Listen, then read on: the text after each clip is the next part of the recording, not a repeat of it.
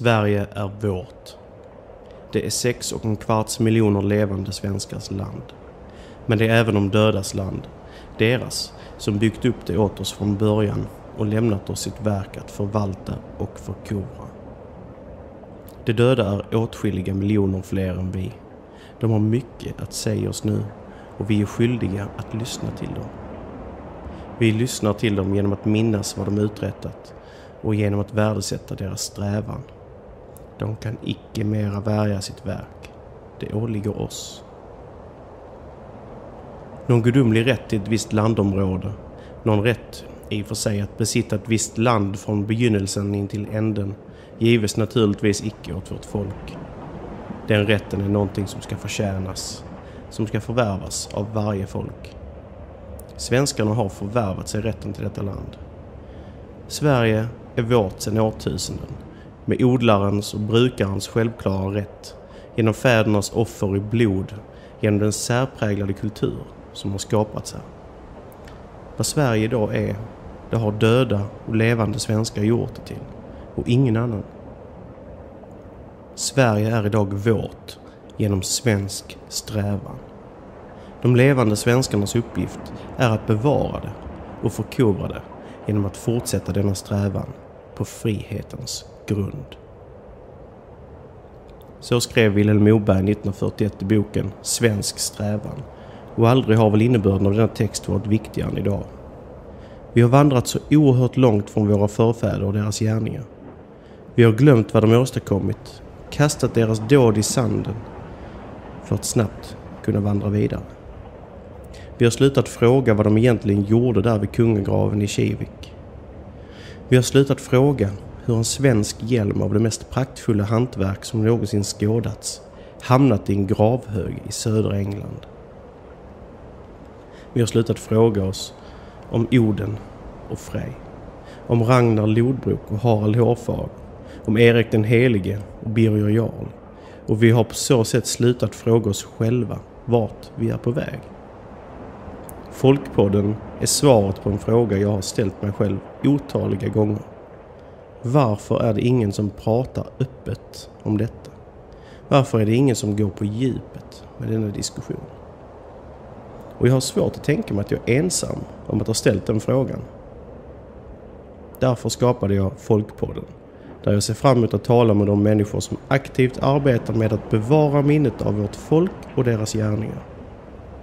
De som aktivt studerar deras inverkan på världen omkring oss genom böcker, arkeologi eller filosofiska övningar såsom rekonstruktion, asatro och blot. Jag kommer också att göra avsnitt som närmare studerar specifika ämnen, paneldiskussioner med gäster om aktuella eller historiska händelser och mycket mer. Det ska bli ett sant nöje att hissa seglen och ge sig ut på detta äventyr där resan går genom historien och målet är vår egen framtid. Mitt namn är Linus Borgström. Välkommen till Folkpodden.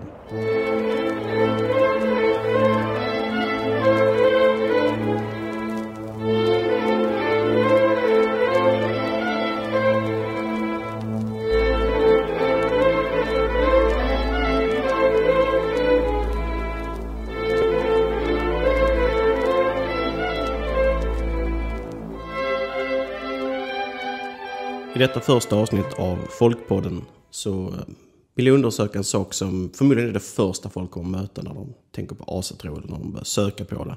Och det är allfadern, Oden själv. Eh, begreppet odinism är ju oerhört framträdande på internet, i synnerhet i USA. Inte så stort i Sverige, jag tror att man har en bredare bild av asatron här än man har generellt utomlands. Eh, vilket inte är så konstigt med tanke på att detta är ursprungskällan för alla gudarna. Detta är ju vanornas hemland om man studerar Ynglingasagan till exempel. Men odinism är ändå någonting som många kommer att komma i kontakt med när de först börjar leta, när de först börjar vandra denna vägen. Och det är absolut inget fel i det därför att de flesta som söker sig till asatron är just sökare. De söker visdom, de söker att anknyta till sina rötter, de, de har kanske kommit från en annan tro, oftast kristendom, ibland frikyrklig religiös, alltså riktigt religiös kyrka, eh, kristendom. Och brutit sig loss från denna och är oftast ganska starkt spirituella, andliga människor men det finns en tomhet där. Alltså, de måste fylla någonting. De har någonting att ge men de får inget utlopp för det. Så söker de efter asatro eller Oden, gamla gudar, hedendom. Oftast har de Facebook, då kommer de i kontakt med odinism. Och det kanske inte alla som håller med mig här, men jag ser ju många grupper som kallar sig för odinister. De är helt och hållet hängivna odinister. Och det är fantastiskt. Det, och jag ser säkert att förr var det så. Det fanns eh, godar och präster som var helt hängivna Oden. Varje gud hade sin egen god eller präst. Vi ser det i alla fall i, till exempel på Arkona. Eh, där den eh, slaviska guden Svantevit eller Svetovit dyrkades av en enda präst som var hans man på jorden, hans företrädare. Eh, förmodligen har det varit så även här uppe i Norden med våra gudar.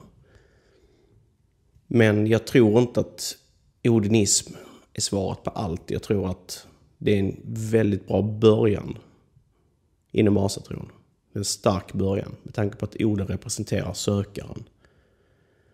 Men det ska inte sluta där. Man måste nog titta på en bredare bild av gudarna och våra sagor för att finna sina rötter.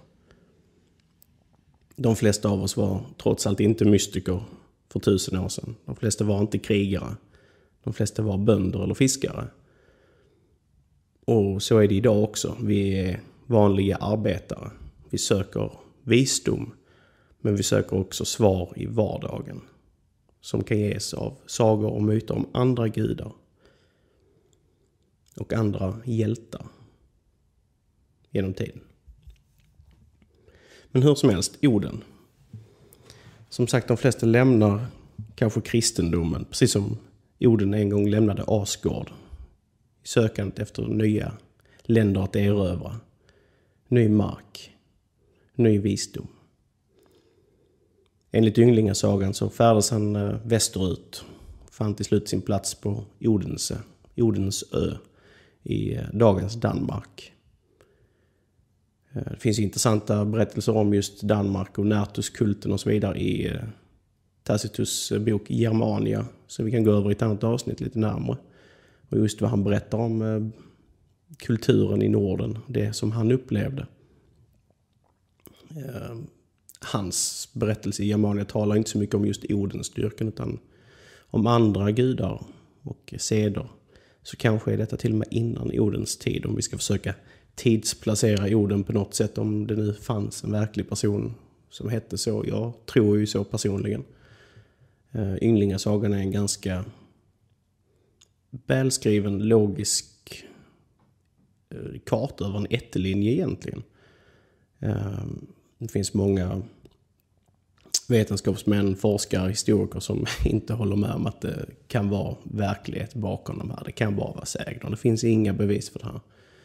Eh, men om vi börjar titta på arkeologiska utgrävningar, till exempel eh, kungagravar och eh, rösen i Sverige, så ser vi att de flesta är utgrävda någonstans från 1920-talet eller tidigare och då har man bara gjort stickprov.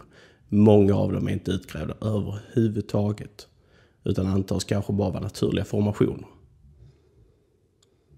Men eh, nog om det. Vi ska inte prata om eh, Odens vara eller icke vara i historiskt perspektiv idag. Eh, och jag tycker Ynglingasagan eh, mer detaljerat kan diskuteras kanske som en panel vid ett annat tillfälle då jag tror att många människor har olika syn på denna boken. Men vi ska tala om sökandet av visdom som Oden gör och den väg han vandrar och varför det är viktigt att kanske börja själv på den vägen. Det blotet i sig är ju någonting som Oden utför. Han offrar sig själv åt sig själv. Han, eh, kanske inte någonting de flesta skulle göra idag på samma vis, men att släppa alla förbehållningar som man kanske byggt upp. Att i sin ensamhet tänka på jorden. Att ge någonting, att tala hans namn, att bara yttra någon önskan om att få ge sig själv åt visdomen som han fann. För de flesta är detta en ganska främmande tanke idag. Att göra någonting sånt. Men jag tror att släppa den förbehållningen att ge sig ut på det äventyret, om än så litet. Och sedan känna någonting. Den gnista som tänds. Kanske bara en gång, det kanske inte tar fyr. Det kanske inte blir glöd. Men att prova. Det är det viktigaste steget. För mig fick jag ingenting tillbaka direkt. Det, det tog ett tag. Innan det landade. Varför det var så viktigt att vandra samma väg som jorden. Att söka visdom. Att begrava huvudet i, i böcker, och sagor och legender. Och filosofera och tänka på, kan det här vara på riktigt? Kan det här ge någonting? Och i sökandet efter orden så tror jag att jag har främst lärt mig mer om mig själv. Jag har offrat mig själv åt mig själv. Och jag tror att det är det som är hela poängen. När du lär dig om dig själv så börjar du se världen omkring dig på ett annat sätt. När du läser om, eh, om du till exempel släktforskar. Du läser om den här lilla sfären runt omkring dig som sakta, sakta växer. Din kunskap sakta, sakta växer om den. Så ser du helt plötsligt tiden på ett annat sätt. När du läser om släktingar som levde för 200 år sedan. Så känns de plötsligt väldigt, väldigt nära. När du läser, att ah, de bodde kanske bara ett stenkast bort. Eller vi har kanske bott på samma gård alltid. Eller de kanske kom någon helt annanstans ifrån. Du ser resorna de har gjort, både genom tid och rum. Du lär dig varför de gjorde de resorna. Och plötsligt börjar du se, inte bara att du lär dig saker om dig själv eller om tiden, utan du ser att du lär dig saker om orsak och verkan. Du lär dig se att du finns här, där du är just nu av en anledning. Någonting hände en förfader på 1600-talet. Som sedan, som en dominoeffekt, ledde rakt ner till där du är idag. Och tro mig, ingenting händer av en slump. Inte, så känns det inte i alla fall när man tittar bakåt på detta viset. Allting ser väl planerat ut. Kanske är detta att tyda mönster som inte finns där. Men vem vet? Prova själv så får du se. När du så kommer tillbaka ett par århundraden i din släktforskning så kommer du snart till ett stopp. De flesta gör det. Vissa kommer inte längre än till början av 1900-talet. Vissa kommer till 1500-talet eller väldigt, väldigt få kommer längre tillbaka än så. Kanske är du av adlighet, kanske är du oäkting, kanske har du gått om mördare och häxor i din, eh, jättelinje. ättelinje. Ehm, man hittar allehanda saker. Men någonstans när du kommer så långt bak som du bara kan så brukar man kunna göra en anknytning till en plats. Och då går man över till ett annat steg, man går till historieböckerna. Jaha, den här eh, ön som mina föräldrar kom, eller förfäder kom ifrån utanför eh, Höga Kusten. Varför? Det har jag aldrig hört talas om. Men jag vill veta mer om den. Så du börjar titta på historien. Och du ser att ja, ah, det var häxbränningar just innan mina förfäder lämnade platsen. Eh, som som mitt eget fel. Äh, eget fall menar jag. Ehm, jag hade ju anfäder då på Rävsön uppe vid Norrfällsviken, Höga Kusten. Och efter häxbränningarna slutade så sammanföll detta med året då Karl XII dog. Var på ryssen invaderade och brände just Rävsön, Höga Kusten. Eh, de var tio syskon i familjen då och vad jag kan utläsa av de historieböcker och eh, eh, papper jag har hittat så var det en man som överlevde. Och han tog sig hela vägen ner till Skåne, till Kristianstad. Varpå var på min släkthistoria tar en ny början. Men att läsa om den här utökade historien så lär jag mig inte bara om mina förfäders öden utan människorna runt omkring dem. Hur de påverkade varandra. Och där finns det all möjlighet att leta sig längre tillbaka genom att kolla historieböcker, genom Riksantikvarieämbetets fornsök, hitta platser runt omkring där som kan ge en anknytning. Och vips så är du tillbaka på bronsåldern. Och tittar på högar och märker att fan, det här var ju ett fäste för här har ju levt folk hur länge som helst. Och där börjar du se någonting större. Eh, större än tid och rum och till och med större än orsak och verkan. Du börjar se att vi är ett folk. Vi håller ihop. Vi hjälper varandra, vi stöttar varandra. Det går inte alltid bra för oss. Ibland går det riktigt, riktigt illa. Men vår styrka är att vi enas som ett folk. Och det är när alla dessa sanningar, när du börjar hitta dem, som du börjar kunna bygga en bild av var du vill ta vägen i framtiden. Och att ha en väl grundad mark att stå på med båda benen. Och att finna visdom på den platsen. Och kunna se en stig som dina förfäder vandrat i hundratals år, kanske till och med tusentals år. Ja, då vet du ju var den är på väg. Du kan bara skymta lite längre fram. Ju mer du lär dig om vad du, har, du och din, ditt folk har varit med om förr, ju mer flyttar du dimman framåt. Du kan skönja lite mer i dimman av den stig du ska vandra. Allting blir lite, lite tydligare. Och det är för mig visdom. Det är sejd. Det är vad orden ville ha ut när han offrade sig själv åt sig själv. Det är kunskap och visdom. Rent praktiskt, förutom de tips jag gav nu om släktforskning och historieläsande och hur man kanske ska lägga upp detta som en resa. Så finns det ju rent andliga ting att ägna sig åt. Och det är ju såklart blot, som vi pratade om innan. Det kan vara en stunds meditation över en runa, dess innebörd. Det kan vara en stunds meditation över orden som väsen eller som möjlig historisk person. Kanske kan man bara komma på någonting då och då, där och då. Men vi är många som samlas och gör detta, eh, bland annat den nionde varje månad. Så eh, håller vi någonting som kallas för Odin World Prayer Day. Skapad av en bekant till mig, Anders Nilsson. Som jag hoppas lyssnar.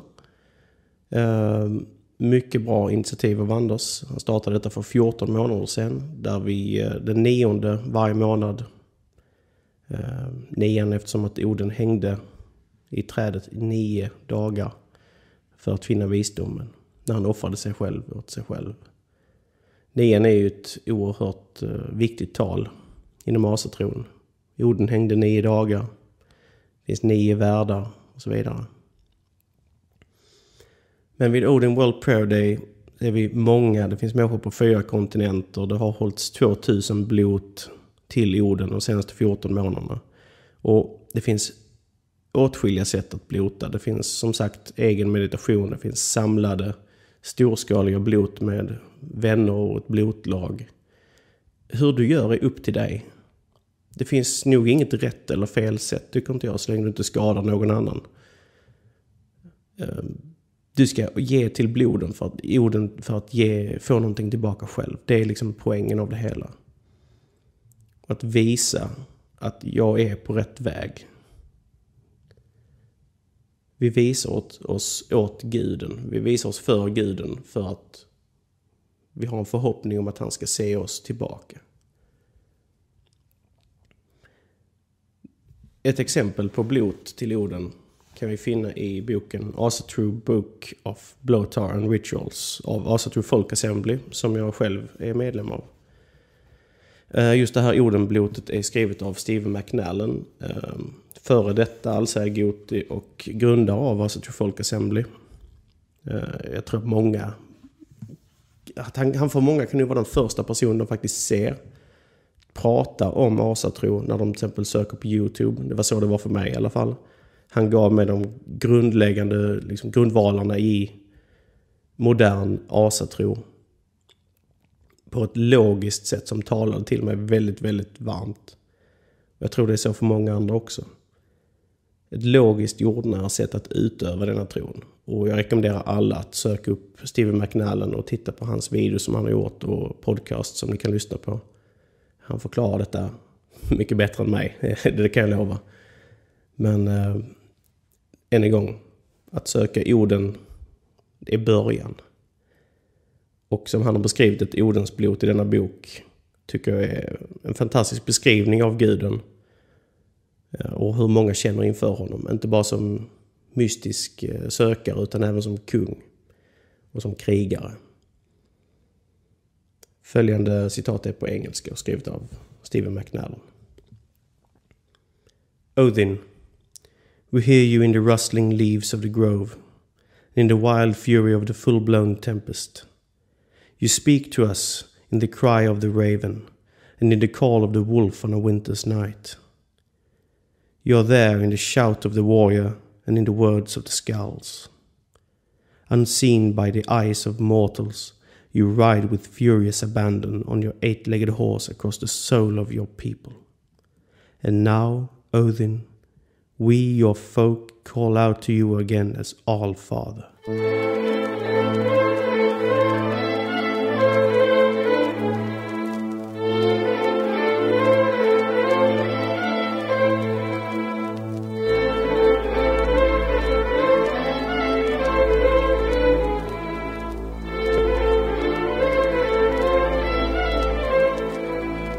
Du har lyssnat på episod 1 av Folkpodden som spelas in den 12 januari 2017 med mig, Linus Borgström. Ni kan hitta mer om Folkpodden och kontakta mig på facebook.com folkpodden eller folkpodden.wordpress.com. Tack för att du har lyssnat och må orden vara med er.